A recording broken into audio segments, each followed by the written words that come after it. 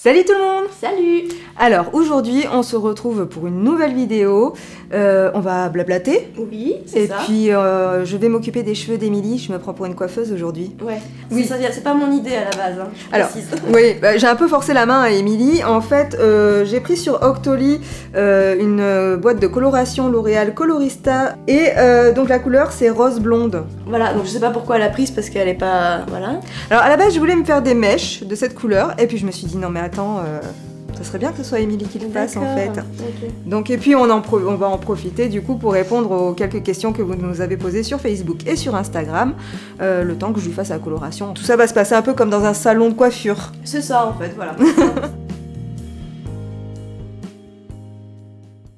Dedans, il y a une petite notice pour vous expliquer comment appliquer la couleur. Il y a aussi une explication de comment euh, faire pour mélanger les produits et ce que vous trouvez à l'intérieur de la boîte. Donc, euh, sur la notice, ils disent de mélanger le produit 1 et le produit numéro 2. Donc, on précise que c'est une couleur permanente, n'est-ce pas oui, je pensais que moi c'était une couleur semi-permanente, un truc qui partait au bout de trois lavages quoi. Eh ben non. Je lui ai envoyé la photo de la boîte, mais je savais qu'elle allait pas tout lire. Non, j'ai pas tout lu. J'en je ai profité. Alors, à l'intérieur de la boîte, on a aussi un peigne pour étaler la couleur Mhm. sur les cheveux. Euh, donc le baume, et je suppose que ça c'est les gants. Des superbes gants très sexy comme d'habitude. Donc là, dans le bol, dans un, j'ai pris un vieux bol. hein. Euh, j'ai mélangé les deux produits. Alors après en quantité, je sais pas s'il y en a beaucoup beaucoup. hein. Si vous avez beaucoup de, de cheveux comme moi, je pense qu'il va vous falloir au moins deux boîtes. hein. Ok, donc c'est parti. En même temps, on va répondre à vos questions. Donc la première question. Félicitations pour vos 5 ans. Merci. Première question, vous postez quand même beaucoup moins depuis quelques mois. Sur quel projet travaillez-vous de l'autre côté de l'iceberg? Mhm. Voilà, effectivement, on poste beaucoup moins depuis quelques mois, tout simplement parce qu'on a eu beaucoup, beaucoup de travail euh, en dehors. Donc, euh, le travail qu'on fait en, en freelance, euh, tout ce qu'on fait à l'extérieur, les shootings, etc. Et euh, c'est vrai qu'on a été pas mal débordés. Et moi, je travaille beaucoup chez Make Up Forever Academy à Nice. Et du coup, on a eu beaucoup moins de temps. Et surtout, on n'arrivait pas à se retrouver en même moment, toute Alicia et moi. Mm. Donc, du coup, ce qui fait que bah, beaucoup, on peut faire beaucoup moins de vidéos qu'avant. En fait, du coup, moi, j'ai fait plus de vidéos qu'Emilie. Ouais. Et euh, mais c'est vrai que, bon, au bout d'un moment, euh, c'est un petit peu lassant euh, de faire les vidéos toute seule. La base du blog, c'était de faire des vidéos à deux, Mm. souvent, enfin, le plus souvent possible. Mais on espère que ça va On reprendre. espère que ça va Hein reprendre. Peut-être ouais, plus l'été parce qu'on aura Ouais. moins de travail. Là avec, ouais, là avec, ouais, c'est moi qui complique un peu les choses. en fait. J'avoue. Sur quel projet travaillez-vous de l'autre côté de l'iceberg? Alors, Donc, on va pas vous dire exactement pour le moment ce, ce que c'est, n'est-ce pas? Ouais. Juste le fait que bah, ça a à voir avec des livres. Mhm. Voilà. Maintenant, qu'est-ce que ça sera exactement, le pourquoi, le machin, on vous expliquera ça dans une vidéo vraiment à part. Mhm. Euh, mais c'est un très très beau projet pour euh, lequel on a beaucoup beaucoup beaucoup beaucoup beaucoup travaillé, qui nous a pris ça. énormément de temps. Faut pas croire écrire un livre, ça prend énormément de temps. Et euh, mais on est très contente parce que ça va être vraiment très sympa et on espère vraiment que ça va beaucoup vous plaire. Euh, D'où aussi, bon, ce projet fait aussi qu'on a pu faire moins de vidéos toutes les deux. Mm. Euh, deuxième question, votre indispensable maquillage et soin s'il ne devait en rester qu'un Moi je te laisse commencer Alicia. Mon indispensable maquillage, moi, c'est le rouge à lèvres. Rouge à lèvres rouge crème, pour moi, c'est l'indispensable parce que non seulement on peut se maquiller les lèvres, euh, en plus, je trouve que euh, le rouge, quand vous avez choisi le bon rouge, ça vous donne de suite bonne mine. Et en plus, vous pouvez aussi vous en servir comme blush. Oui. Là, je suis maligne. Niveau soin, je dirais l'huile de coco parce que vraiment elle fait tout et moi je ne peux pas me passer en fait euh, d'un produit hydratant que ce soit pour mon corps ou pour mon visage. Mhm. Donc je choisis l'huile de coco parce que euh, c'est, euh, je la prends bio, c'est naturel, ça sent bon. Voilà, que demander de plus. Et un autre indispensable qui n'est ni maquillage ni soin, mais genre, tu vois, le truc genre si tu devais te retrouver sur une île déserte, euh, Ouais. qu'est-ce que tu amènerais? Je pense que ça serait la pince à épiler. On parle pas assez de la pince à épiler, D'accord. Indispensable maquillage, bah, le mascara. Euh, parce que si j'ai pas de mascara, j'ai le regard euh, complètement vide. Voilà. Un peu. euh, C'est souvent le cas des blondes. Voilà, c'est ça. donc, euh, donc, voilà, donc ouais, moi c'est le mascara. Et soin, soin, ça serait juste une crème hydratante parce que euh, l'huile de coco c'est cool, mais c'est très gras. Ah oui, toi t'as la peau moins sèche quand Ouais, même. et j'ai la peau mixte, voilà. Donc euh, juste une crème hydratante, ouais, parce que comme quand je me lave le visage, etc., j'ai la peau qui tire et j'aime pas. Donc euh, ouais, une crème hydratante, ça me va bien. Troisième question pour finir. À quand des conseils entretien des cheveux par Alex On ne le voit plus d'ailleurs, c'est bien dommage. Bisous à toutes et tous. Alexandre, donc il a, il a, il travaille aussi sur un énorme, enfin un gros projet, enfin qui est déjà en place d'ailleurs. euh, Mm. et qui communique beaucoup dessus, etc. C'est euh, par rapport à la tanninoplastie, on vous en avait parlé, ça a changé de nom d'ailleurs maintenant. Ouais, C'est l'enzymothérapie. L'enzymothérapie. Donc c'est quelque chose qui, qui soigne les cheveux, etc. et qui marche très très bien. C'est un lissage au tanin voilà, en fait. un lissage au tanin. Mais quelque chose qui a encore besoin d'être lancé et bien communiqué et tout, c'est ça lui prend euh, tout son temps en fait. Oui. Donc du coup, clairement, il a plus du tout le temps pour le blog. On comprend, hein, c'est quand même un gros projet pour lui. Mm. Donc euh, à quand les conseils? Pour l'instant, moi je vois pas quand, peut-être pas du On tout. va en discuter avec lui, on va lui demander si à un moment donné, il a... il- parce qu'il a quand même encore, enfin j'ai discuté avec lui, il a quand même encore envie de faire des choses pour le blog, ça Ouais. lui plaît, mais c'est vrai qu'il a absolument, il a encore moins de temps que nous en fait. Euh, sinon, euh, bisous Angélique. Combine. Alors, Héloïse, 5 ans déjà. Je, oui, je me souviens que j'ai commencé à vous suivre en juillet 2012. Eh ben, t'es une des premières à nous avoir suivis alors. Ça. je vais réfléchir à des questions et je reviendrai vous les poser. Alors, euh, alors comment s'est passée votre rencontre? Qu'avez-vous pensé l'une de l'autre la première fois que vous vous êtes vues Euh, On s'est rencontrés dans- pendant notre formation chez Make Up Forever Academy Nice en 2006. Ouais. ça fait, eh ben, ça fait 10 ans. hein. Et Même 11 ans. plus, presque. On va sur nos 11 ans. Ouais. Et euh, donc voilà, donc nous étions élèves toutes les deux. Ouais. Et qu'est-ce que j'ai pensé la première fois? Je me suis dit, euh, elle a l'air sympa, mais je vais attendre un peu avant de l'approcher. Je sais pas trop comment l'aborder. voilà. Euh, voilà, parce que Alicia, la première fois qu'on la rencontre, on se demande si elle, suis est, si elle est cool ou pas en fait. On sait pas. On, on sent hein, qu'il y a un truc, mais on sait pas. On hésite. Ouais. Et au final, au bout de même pas quelques jours, euh, enfin, c'était fait quoi. Il suffit Ouais. de lui parler et en fait, euh, tout va bien. Et je rajouterais même qu'en fait, on habitait toutes les deux Ouais. dans le. Ouais. Pour tout, di- pour tout vous dire. Et donc, en fait, le soir, quand on rentrait après les cours, on faisait le chemin ensemble et c'est comme ça qu'on a vraiment appris Oui, à se connaître. Mm. Et moi, la première fois que j'ai vu Émilie, ben, en fait, euh, j'avais pas du tout d'a priori. Mhm. euh, voilà, j'ai vraiment appris à la connaître comme ça euh, quand on rentrait mesure, ensemble. ouais. Et puis, on a vu que ça accrochait bien. Et puis, Mm. on est, voilà, on s'est jamais quitté. voilà, depuis, on, On est amis. Voilà, on, on est amis. Et puis on s'est surtout beaucoup soutenu en commençant notre métier. Ouais. Et euh, ça, a toujours, ça a toujours resté comme ça. Et, euh, et c'est vraiment très important, en fait, Mm. euh, quand on commence un, un métier comme le nôtre, Mhm. d'avoir des collègues qui, qui vivent la même chose que nous et qui nous comprennent et qui nous, qu'on se, on se soutient mutuellement. Donc ça, c'était Ouais. très important pour moi. Pensez-vous refaire des vidéos type Jacqueline et Marivonne J'avais adoré cette mini-série, vous étiez tellement drôles dans ces rôles. Pourtant, on n'est pas comique à la base. Non. non, et puis, en plus, je me, je me suis dit, ça nous fait rire toutes les deux, mais est-ce que ça les fait vraiment rire? Je ne sais pas. Oui, puis c'est vrai qu'on a commencé à faire ça euh, au tout début Ouais. de la chaîne et on n'avait pas beaucoup, beaucoup de vues. Mhm. sur ces vidéos, même si on savait que les personnes qui les voyaient, ça les faisait marrer et que ça leur plaisait. Oui, ouais, ouais. Mais toi, tu aurais envie de refaire ce genre de vidéo Euh, Peut-être pas Jacqueline et Marivonne, mais euh, je sais pas. Faudrait peut-être qu'on trouve d'autres personnages. Ouais, à voir. À voir. Je pense que ça, ça serait drôle si on, de le refaire si vraiment on arrivait à se remettre à faire des vidéos. euh, Ouais, régulièrement. Ouais. Mm. Euh, Alexandre me manque aussi. Est-ce qu'on aura l'occasion de le voir bientôt? Bon, bah, on a répondu tout à l'heure à la question. On va lui mettre la pression, on a compris. Voilà, donc Alexandre, hein, euh, tu es très demandé. Avez-vous des frères et sœurs? Alors oui, moi j'ai un frère, il a 36 ans, et euh, voilà, Loïc. Voilà, euh, il fait de la voltige, il est champion du monde. De, euh, de voltige aérienne, voilà, je me la pète un petit peu quand je dis ça. Euh, mais voilà, oui, euh, c'est mon frère, c'est l'homme de ma vie, euh, voilà. Ouais. il est tellement gentil en plus. Voilà, il est gentil, il est intelligent, mais je vais arrêter parce que sinon il va, il Il va va avoir les chevilles. il va avoir mal aux chevilles encore, les chevilles qui gonflent, donc, donc voilà. Et toi. Alicia?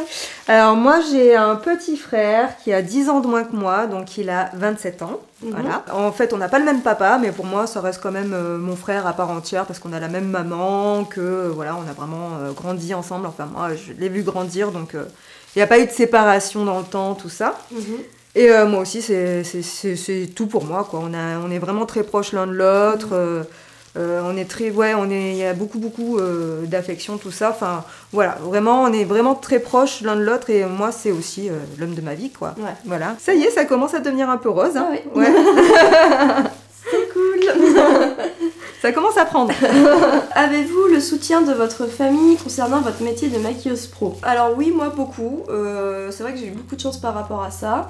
Même si au départ c'est pas un métier que qu'on comprend tout de suite. Mon père il a il m'a toujours soutenu dans, dans mes choix. Il m'a dit y a pas de souci, tu fais ce que tu veux tant que ça te plaît. Donc euh, donc voilà, il m'a aussi aidé pour euh, pour l'académie au départ. Enfin, Non, franchement, de ce côté-là, j'ai pas à me plaindre. Et puis, que ce soit mon frère ou mon père, ils sont toujours intéressés par, euh, par ce que je fais. euh, ils sont toujours très contents quand, euh, quand on leur a appris qu'on allait écrire un livre, etc. Donc, euh, non, franchement, euh, c'est important justement dans ce métier d'avoir quand même au moins un soutien qui vient de quelque part, que ce soit quelqu'un qui vienne de la famille ou des amis, etc.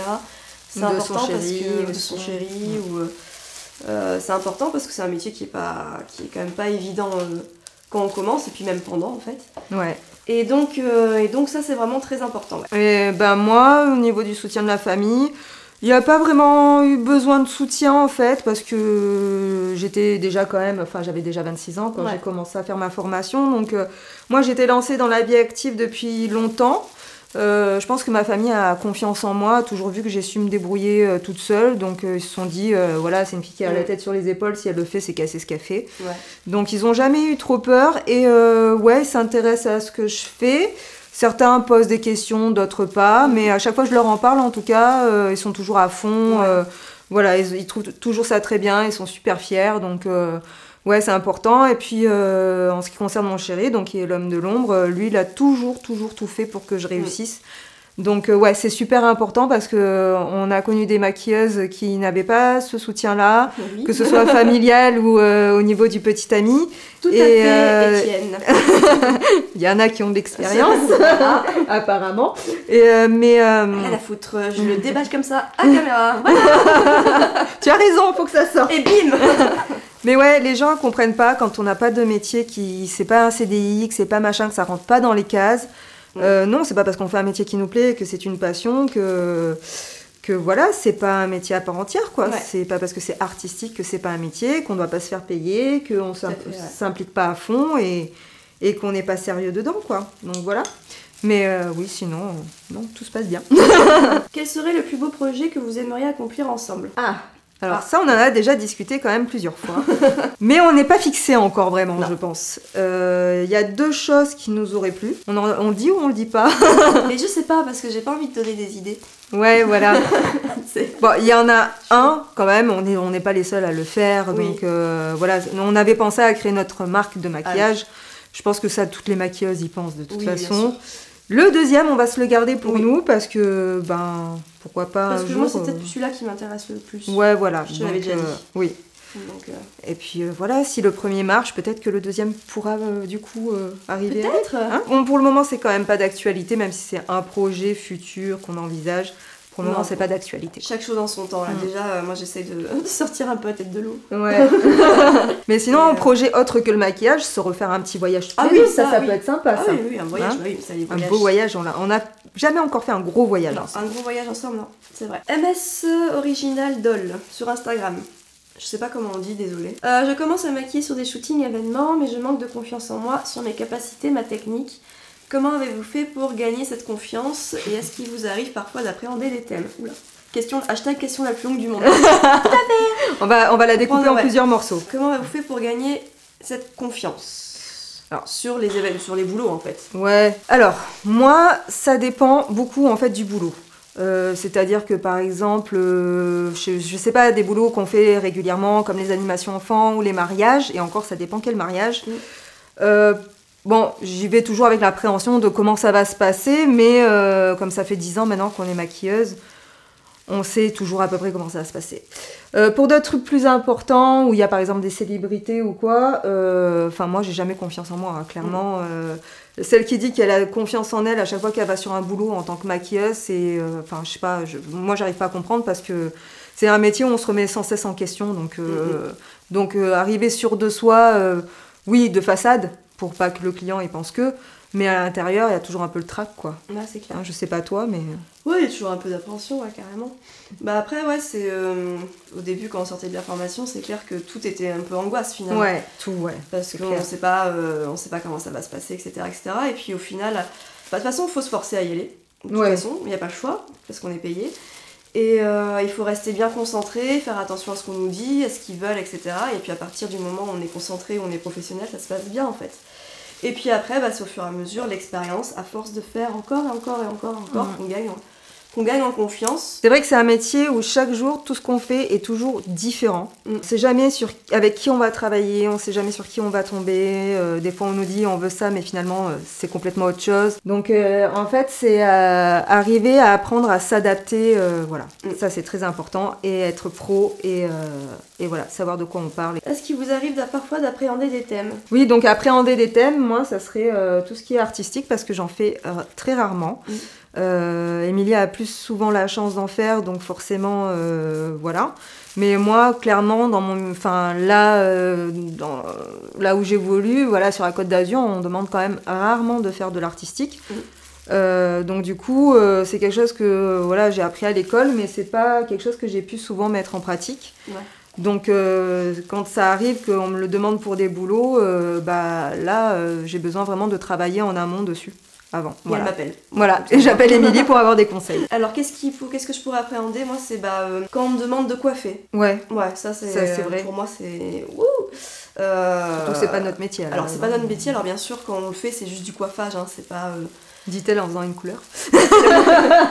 C'est juste du coiffage, donc ça va être, je sais pas, du lissage de cheveux, des boucles, etc. Mais rien que ça, c'est quand même compliqué. Mm. Surtout en shooting photo, parce qu'il faut que ça soit nickel. Et euh, là, oui, moi, c'est- là, c'est là où je vais vraiment appréhender, où je vais, euh, je vais, m'a- je vais essayer de m'entraîner un petit peu avant, etc. Après, euh, bah, tout ce qui est effets spéciaux aussi. Ouais, c'est vrai. Ça, clairement, tout ce qui est prothèses, monstres, etc. Je, on sait le faire, mais on va dire théâtralement parlant. Mais vraiment réaliste, on sait pas le faire parce qu'on n'a pas été formé pour ça. Ouais. Et pourtant, moi, c'est euh, un truc qui m'éclaterait vachement ouais. parce que les effets spéciaux, moi, c'est ce que je voulais faire à la base. D'ailleurs, bah, petite, euh, petit message à Métamorphose, je sais pas si vous Oui, voulez, Métamorphose, si vous avez envie euh, euh, de nous proposer une nous petite. inviter voilà. comme ça, juste pour un petit, euh, quelques jours de découverte. On aimerait bien. Comme ça, je sais pas, on peut faire une petite vidéo.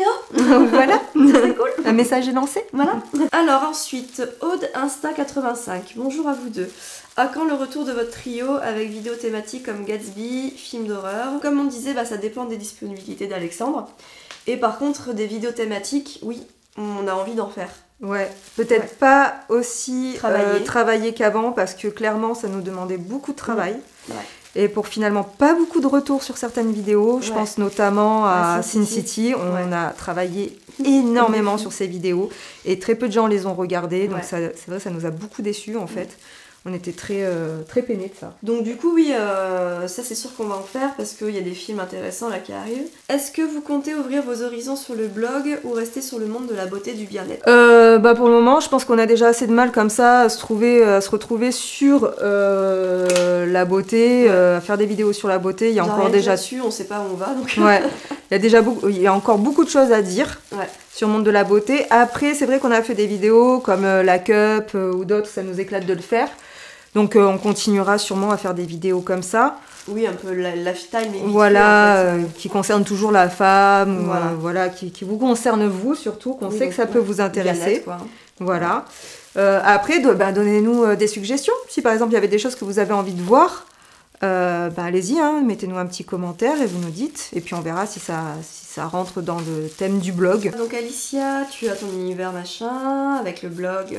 Comment c'est Alicia Foxy Girl. Oui, j'ai un deuxième blog. Alors là, c'est plus pour euh, partager euh, tout ce qui est un peu, euh, tout ce qui est un peu dans mon univers, effectivement, Mm. Les voyages, les séries, la musique, voilà, tout ce que j'aime en général.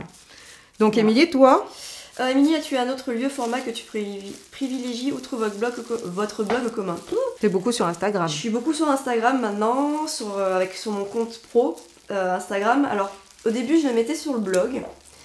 Et, euh, mais j'ai trouvé en fait que ça faisait trop de mélange en fait avec tout ce qu'on faisait déjà sur le blog, c'est-à-dire les maquillages normaux euh, de beauté, tu sais, tu vois ce que je veux te dire, euh, les maquillages de tous les jours, etc. Et les Mm. maquillages artistiques que je pouvais balancer, etc. Je, pense- enfin, je trouvais que ça répondait pas forcément au public du blog. Je sais pas ce que t'en penses. Enfin, Ah bah moi, ça, moi je, moi je pense que ça peut les intéresser. Maintenant, c'est surtout à eux de nous dire si ça leur, les intéresse de voir des publications de tes body painting Ouais. et de tes face painting Enfin, et des démos je que tu fais coup, à ça- l'académie. Que ça dénotait un petit peu et donc et puis c'est vrai que j'avais peut-être aussi besoin de retrouver un peu mon univers à moi euh, de mon travail professionnel.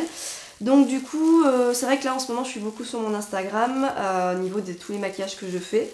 Et voilà, mais après, euh, non, j'ai pas d'autres blogs. De toute façon, déjà, c'est compliqué d'avoir un blog. ouais, Même franchement, c'est beaucoup de travail. J'admire vraiment les, les, les personnes qui, qui sont régulières là-dedans. Ouais, mais elles font que ça aussi. côté. Oui, c'est Il y en a beaucoup qui font que ça. Celles qui sont régulières, c'est vraiment leur métier. C'est vraiment leur métier, elles gagnent leur vie avec, avec etc. Mais c'est vraiment euh, beaucoup, beaucoup de travail. Euh, donc Alicia aussi, elle a un deuxième, je sais pas comment elle fait. Enfin, Ou je publie une fois tous les trois mois. hein. Oui, tu publies quand même, voilà. Donc, euh, donc voilà, donc euh, non, mis à part ça, euh, j'ai juste Instagram, j'ai aussi une page Facebook, mais je crois que je vais la supprimer parce que j'y vais jamais. Comptez-vous utiliser des modèles plus âgés, par exemple, pour montrer des astuces et make- et make-up aux femmes matures? Bravo pour votre travail. Alors oui, Isa Sambel, on l'a déjà fait sur la maman d'Alicia le Noël dernier. Mm. Ça avait beaucoup plu d'ailleurs. Mm. Et, euh, et ça, même le Noël d'avant, c'était il y a deux ans. oui, le Noël. C'est vrai que ça c'est quelque chose, en plus on- à chaque fois on en parle. Ouais. À chaque fois, on dit qu'on aimerait bien prendre des modèles matures, des modèles black, des Oui, modèles acné, modèles. des Mm. modèles avec plein de, de- de particularités pour que tout le monde puisse s'y- retrouver. Donc effectivement, je pense, pour ma part, que si on se remet à faire des vidéos, ça serait peut-être pas mal de, de faire sur des modèles comme ça. Oui, pour des problèmes particuliers, oui. Ça, ça Mais marche. alors après, le problème, c'est que effectivement, déjà, il faut les faire venir jusque chez nous. Oui. Il faut qu'elles aient la patience de rester trois heures devant la caméra, parce que beaucoup n'ont pas la patience de rester pendant trois heures devant la caméra. Euh, parce que l'air de rien, être modèle comme ça sur des vidéos, ça prend beaucoup de temps. Donc voilà, il- en plus, on n'a pas les moyens de les rémunérer. Ça, c'est quelque chose qui nous tiendrait à cœur si on pouvait. De, ce serait de rémunérer les modèles euh, qui viennent, euh, qui viennent pour le blog. Euh, le fait est qu'on ne peut pas le faire et que c'est vrai que du coup, ben, les gens ils sont moins motivés à venir nous servir de modèle. Ouais. Donc voilà, Mais bon, à voir quand même, parce que Bien je suis sûr. sûre que ça sera avec grand plaisir. Les On a un peu marre qu'on aussi. que nos têtes. déjà, faut qu'on arrive à refaire des vidéos. Mais oui, en tout cas, euh, c'est vrai qu'on fait moins de vidéos, mais sachez que ça nous manque beaucoup. Enfin, moi, en tout cas, ça me manque. Et euh, donc, j'ai hâte de pouvoir les refaire quand même. Et ben voilà, moi je vais finir de bien faire la couleur à Émilie Ouais. et puis on se retrouve après pour le résultat. Bien, euh, voilà le résultat sur mes cheveux. Donc, euh, j'ai des belles boucles, déjà, ça vous pourrez constater. Alicia a tout donné à des boucles. Et sinon, vous pourrez constater que bah on voit pas grand chose. Hein. Non, franchement, je pense que ça se verra plus au soleil, Ouais. mais c'est absolument pas si on comme sur la boîte. la quoi. boîte, euh, alors que pourtant j'avais les cheveux bien décolorés, bien blancs. Ouais. Et euh, bon, il y a quand même une nuance différente. Il y a un léger reflet. En fait, on regarde là parce qu'on a un retour ici. Ouais. Euh, Il y a un léger reflet. Je pense Ouais. que ça se verra plus au soleil, mais c'est quand même pas sur la boîte, quoi. Faut pas déconner, quoi. Non, c'est pas pareil du tout, alors que bon, j'avais quand même les cheveux bien décolorés. Par contre, euh, là derrière, donc euh, sur la boîte, ils mettent euh, châtain clair à châtain ou châtain foncé à brun, donc euh, même cendré. Euh, cette nuance est déconseillée, donc moi je me suis dit ça ne marche pas. Oui, ça, ça sera pas rose, quoi. Voilà, et donc du coup, Alicia elle a fini le produit sur mes racines pensant que ça ne ferait rien. Oui, que ça donnerait un léger reflet, quoi. Voilà Les racines On en parle Est-ce qu'on en parle En fait, ça a décoloré ses racines. Ça a décoloré mes cheveux, voilà, Mm. mais ça fait orange. Donc du coup, euh, bah du coup ça va pas du tout quoi. Bah, ça fait pas orange, ça fait doré. Ouais, doré mais avec du rose à côté, c'est un peu n'importe quoi là. hein. Ouais, donc du coup, à éviter complètement sur vos racines si Oui. vous voulez juste un look euh, un peu ombré parce que. Faut vraiment juste faire sur des cheveux décolorés et bien blancs quoi, Ouais. je pense. Sinon ça. Ouais, Sinon c'est pas bon. on aurait en fait dû faire juste sur les longueurs. Juste sur les longueurs, ouais, tout à fait. Bon, c'est pas dramatique, hein, moi je m'en fiche, mais, mais c'est marrant du coup. Mais c'est vrai qu'elle a fait une drôle de tête euh, quand elle a vu le résultat de ses racines, j'avoue. Voilà, j'ai eu plus de résultats sur les racines que sur les longueurs. Ouais. Sur la boîte, vraiment, il aurait dû être marqué et déconseillé car ça décolore. Ouais. On ne savait pas que c'était un produit décolorant, on pensait que c'était euh, une coloration permanente, mais euh, juste avec des pigments roses. Oui, mais c'est vrai que l'ammoniac ça décolore toujours un petit peu, non? Je sais pas parce que moi je fais des couleurs avec ammoniac et ça me décolore pas les cheveux. Quand Ah, je fais du châtain ou du brun, il y a de l'ammoniac. Là, on va avoir des coiffeurs juste, et des coiffeurs qui vont nous Oui. répondre. Mais c'est si, c'est logique. Excusez-nous, nous, Nous sommes sommes pas pas professionnels. nous, nous faisons comme on est dit sous la boîte, donc finalement, nous sommes partis du public normal. Ouais. Donc euh, voilà, mais bon, bref. Du coup, euh, grâce à nous, vous allez quand même savoir que faut pas le faire. Faut non seulement pas le faire, mais en plus vous avez pas un résultat. Voilà, le fou, résultat quoi. est pas Il y a pas ouais. de, il y a, il y a pas de vraiment de grosses différences. Donc euh, vraiment, si vous voulez quelque chose de qui se voit, on vous conseille pas ce produit. Donc on espère quand même que cette petite vidéo avec euh, vos questions et nos réponses vous a plu. Euh, nous on a quand même euh, rigolé. C'est un bon moment, je suis contente de mes cheveux. N'hésitez pas à nous poser d'autres questions si vous en avez dans les commentaires, que ce soit sous la vidéo ou sur le blog. Nous on espère se retrouver très bientôt Oui. pour une nouvelle vidéo, on ne sait pas encore quoi. Quand? voilà, c'est Mais on espère, voilà. On vous fait des très gros bisous et on vous dit à très bientôt. Bye bye